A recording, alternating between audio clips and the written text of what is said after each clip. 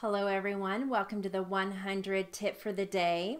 I want to review some of the briefs and phrases, uh, typically the ones that you've heard in the Q&A practice. I know I gave you a couple of them, but I know this is a great time to review and write those down. So the first one is interlocutory. That's TROK, T-R-O-K. Uh, then we've got marijuana. That's M-A-R-N. And now, while we're talking about drugs, I thought it'd be good to give you meth as opposed to methamphetamine. So, meth is just M E G T. Methamphetamine, I strike it twice. Meth, meth. M E G T, M E G T. And I know when I strike that twice that they are actually saying methamphetamine, and that's in my dictionary. Okay, um, we also heard condominium.